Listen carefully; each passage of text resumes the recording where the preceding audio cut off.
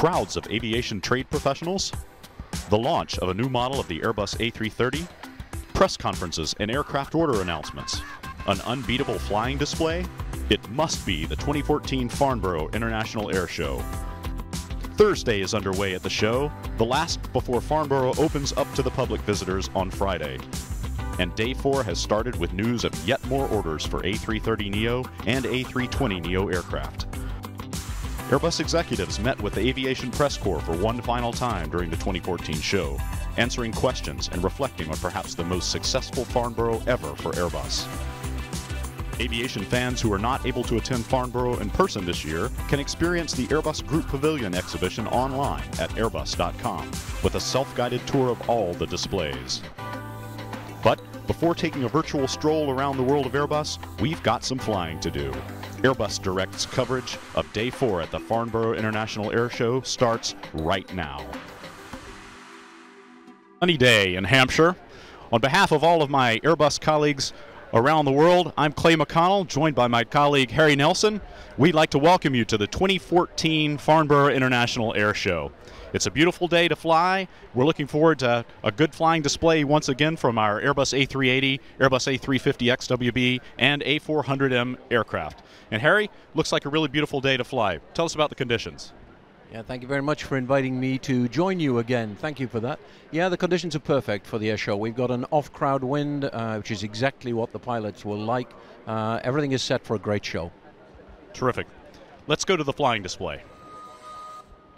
Next up in the order of flight is, of course, the Airbus A380, the world's largest and most efficient passenger aircraft. The aircraft is powered by four Rolls-Royce Trent 900 engines, each delivering 70,000 pounds of thrust on takeoff.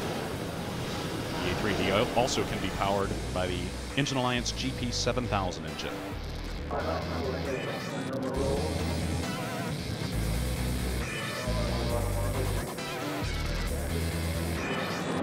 The Airbus A380 has a range of up to 8,500 nautical miles with a full load of passenger and cargo.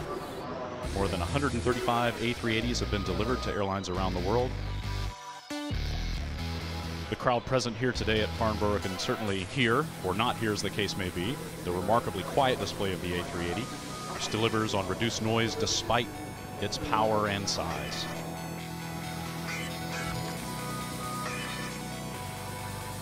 The 350 is in position for takeoff as the A380 makes its approach. This handoff between the aircraft types is a, is a bit of a ballet. Yeah, absolutely. The the uh, the takeoff, uh, the the power up and start of the roll for the 350 is controlled by the 380. The 380 guys will give a 10 second warning, and then as they come through about 500 feet, they will say go, and at that point the 350 go. They've already pre-briefed if anything goes wrong, and here goes the 350 as we speak.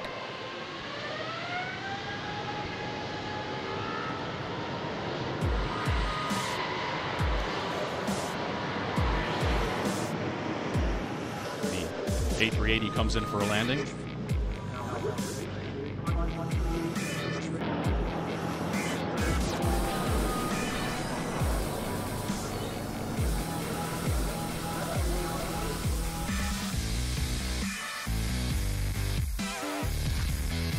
As we say goodbye to the A350 XWB, we say hello to the Airbus A400M from Airbus Defence and Space.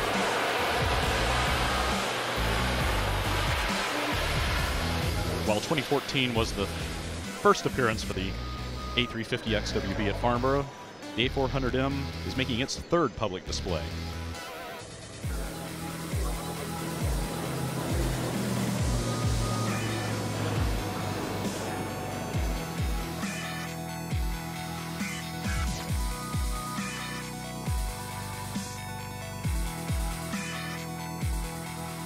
He's accelerating hard now, and coming along the crowd line, accelerating.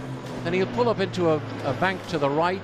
We'll, it'll be interesting to see what bank he gets up to, but we've been seeing about 110 degrees this week. Let's have a look.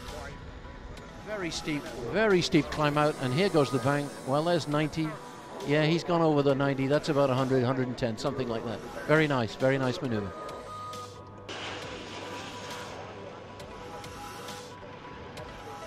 An exceptional flying display by three exceptional aircraft.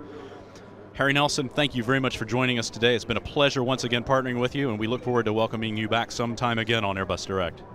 And speaking of back on Airbus Direct, be sure to join us again tomorrow, Friday, for day five, the first public day at the Farnborough Air Show.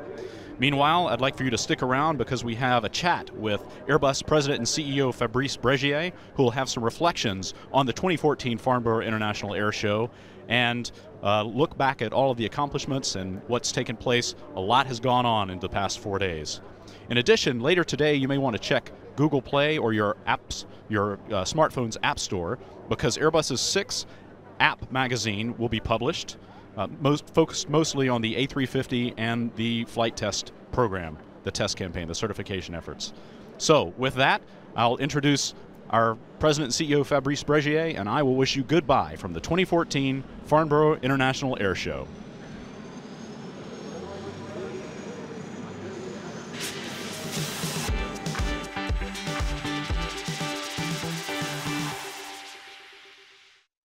This Farnborough Air Show was a great air show. Actually, was the best Farnborough Air Show in uh, Airbus history.